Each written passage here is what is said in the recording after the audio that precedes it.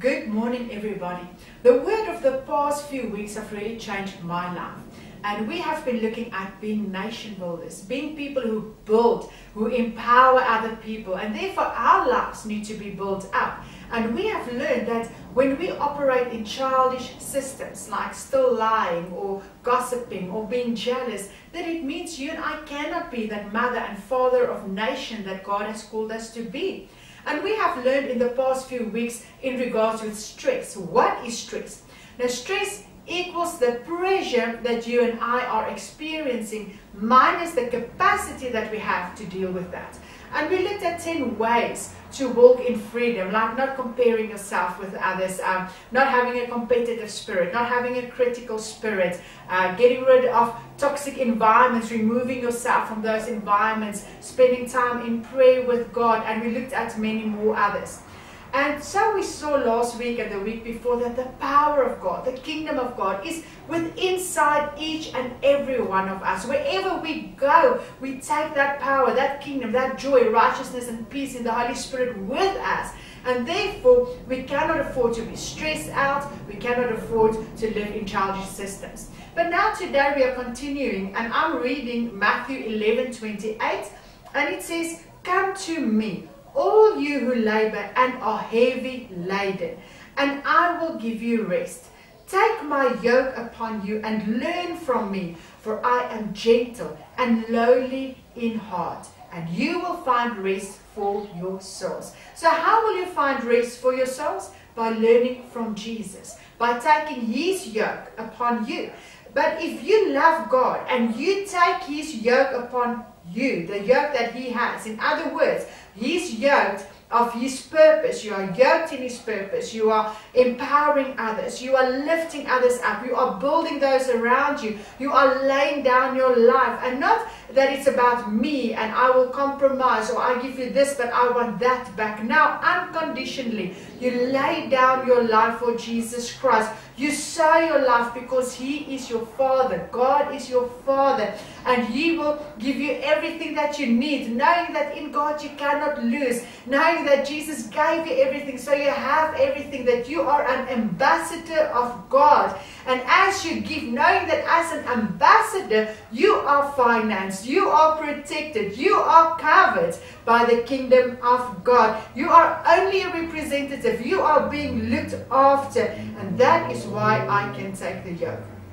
So he says to take the yoke and to learn from me. This speaks about a process, and this reminds me of our previous sermons that we started with. Do not run after the achievements. Enjoy the process. Enjoy your journey in life. Find joy in that. Because if we talk about learning, it means that it will take time. It, it doesn't happen overnight. You never come to a place where you just arrive. None of us ever arrive because then you are with your Father in heaven. So therefore, it's a constant learning process. Now he says, you learn from me and so you will find rest. Where do you find rest? By learning. And not learning anything and from anyone. Where do we learn from? We learn from Jesus. We learn how to function in his vision of loving God, loving people. He says, for my yoke is easy and my burden is light. And now what does 1 John 5 verse 3 says? It says, for this is the love of God, that we keep his commandments and his commandments are not burdensome.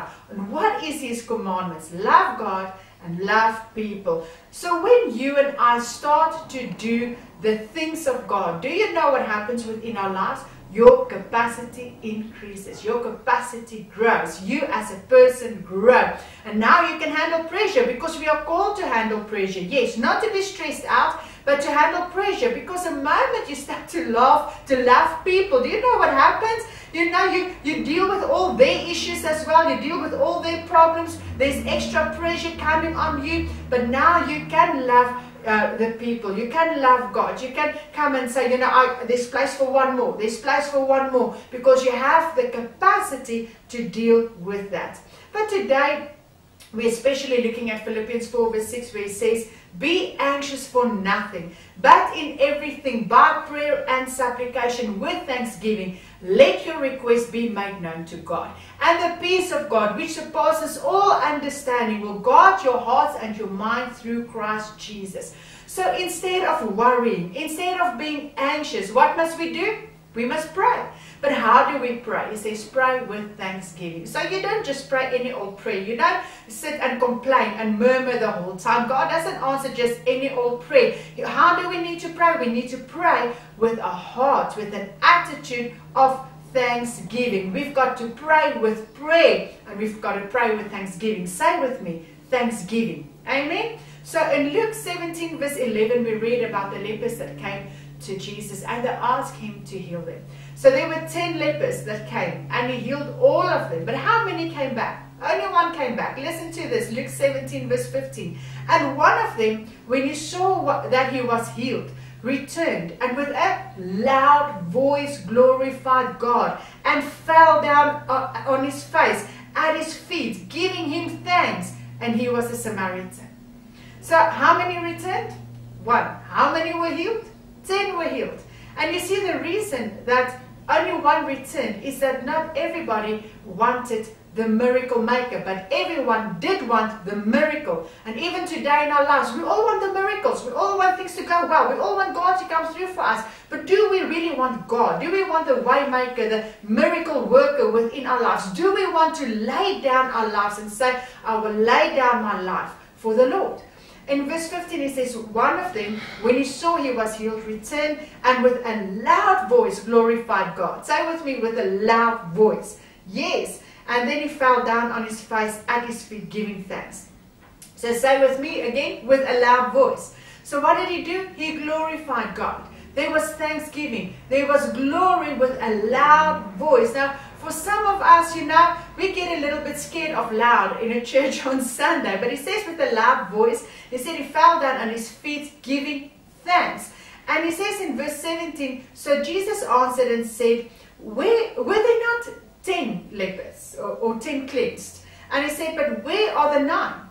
Were there not any found who returned to give glory to God except this foreigner? Listen to this. Were there not any found? And he said to him, Arise, go your way, your faith has made you well. Which means, if he asked, Were there not any found? Then the thing is that it means God was looking. Who was looking? God was looking. What was God looking for? He was looking for people with a thankful heart. So here's the thing God has a miracle. He will provide, He will heal, He will deliver, He will give, He will forgive. But then He is looking. And he said to him, Arise, go your way, your faith has made you well. Another translation says, Your faith has made you whole. So he said there were 10 people healed, but only one was made whole. I'm saying it again. 10 were healed, but only one were made whole. Why? Because of thanksgiving, because of joy, because of his heart. And we are talking at the moment in our series on the blood on the heart. That see, you can try to change your behavior, but your heart will always come through. If you change your heart, this is when your life changes. So is your heart right? Is life all about you, what you can get from God, what God can do for you, giving you a nice life so that you can be comfortable? Or is it actually about God's works and God's things and God's grace in people's lives, changing people's lives?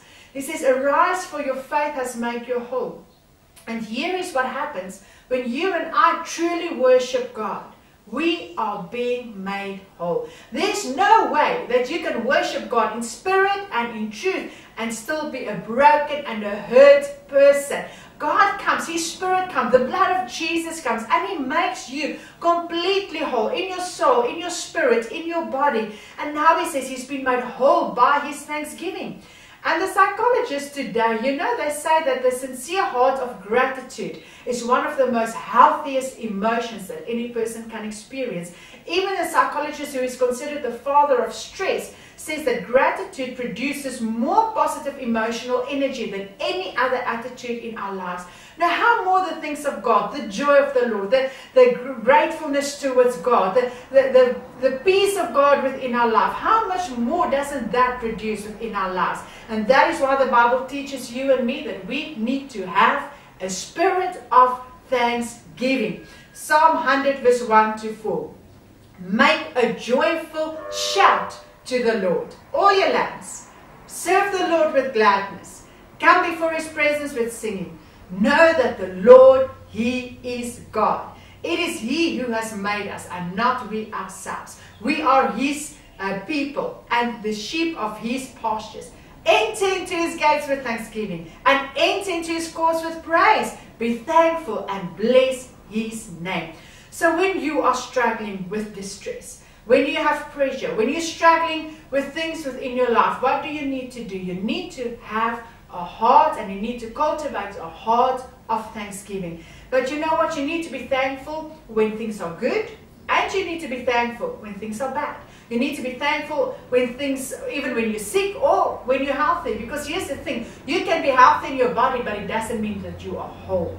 You were made to live a life of thanksgiving unto the Lord. And therefore, it's got nothing to do with your personality. It says, make a joyful noise. Why do we shout? Because that everything that is within us get into that action of shouting. And now we shout louder than that stress within our lives. We shout louder than that uh, circumstances, than the depression that wants to creep in, than the negativity, that pressure. And now it says, all your lands, all your colors, all your personalities, all your cultures, come and shout to God. And now you say, oh, Pastor, but you know, it's not my personality. Well, it was your personality when your team was winning and you were running around the couch. It was your personality when you saw the dog coming and you started screaming, running away. So it's not about personality, it's about your heart. It is about what is in your heart. I remember youth camp and there was such an outpouring of the Holy Spirit. And the one girl came to my dad, she said, Pastor, you know, these kids, they're dancing like this and going crazy, but this is not who I am. And, and my dad says, don't you worry. You just be who you are. And you know that one time God touched her life. And this girl was dancing more than anyone else joy and gratitude for what God has done within her life. So it is not your personality, it is your heart. It is having an encounter with God. And this is the thing. Maybe you need to go look at your own heart because maybe you are your own God. This is why you are so depressed. This is why you are so morbid. Maybe you are the savior of your own life and God helps you if you are because you know what? You should be really worried. Maybe you are the one that says, Pastor, but I am the one. I've worked hard on my marriage. This is why it's such a success. I'm working hard on this. This is why it's working. You know what? We all are working hard. At the end of the day, if it had not been for God in our lives, we would not be where we are today. You know, we must come to a place and say, Lord, this is because I trusted you, because I surrendered my life to you. And therefore, just where you are today, let us become aware of the presence of God right in our house where we're sitting today. And maybe you're struggling within your own life with a spirit of gratitude. Today, I want to tell you, God loves you. God cares for you. God wants to work within your life right now. God wants to bring a change and a transformation within your life today because God loves you and He truly cares for you. But see, some of you don't trust God. Some of you think, after all I've done, God can't really, I can't really expect God to do anything for me. Some of you think God doesn't want to help you. You think you're not qualified. You think you're not worthy. You think you're not good enough. But I've got good news for you. The mercies of the Lord are new every morning. Great is thy faithfulness. And his mercies are not for the self-righteous. His mercies are for the guilty. And we need God in our life because He is the one that forgives us. He is the one that cleanses us. He is the one that changes us. And He is the one who transforms us. God is the one that renews and restores our hearts and our lives. But see, some of us, we don't have the spirit of gratitude. We can't even come to God in supplication and pray. We don't even come to Him because we don't have the confidence. But just where you are, come, let us close our eyes and pray this prayer with me. Just where you are, say with me. Heavenly Father, forgive me for the sin of ingratitude. Please forgive me for complaining and being critical Please forgive me for not coming to you, for having the wrong attitude. This morning, Lord, I come with a grateful heart. I thank you for your grace. I thank you for your mercy. I thank you for your goodness. I thank you that you died on the cross and that my sins could be forgiven. I thank you that you died for me and my family, for our neighborhood. Lord, I thank you that our lives are in your hands. Lord, I do not have to worry. I do not be, have to be anxious. You are in control of my life, of my family, of my future. Thank you, Lord, that you are in control. I give you praise, I give you honor, no matter what I feel, no matter what the circumstances is, Lord, I will give you praise, I will give you honor in the name of Jesus. Amen and amen. And now we're going to do something, and I can't shout too loud, but I'm going to shout a bit. I'm going to give count to three, and then we're all just going to praise the name of the Lord and just experience His presence in our house, in a room, in our office, wherever you are. Are you ready? Okay. One, two, three. Hallelujah. Thank you, Jesus. We praise you. We glorify you. We lift up your name. Thank you, Jesus, for your goodness. Thank you, Jesus, for your greatness. Thank you, God. You're the King of kings and Lord of lords. We praise you. Hallelujah. Hallelujah. Yes. Praise the Lord. Continue to praise the Lord the rest of this week. God bless you.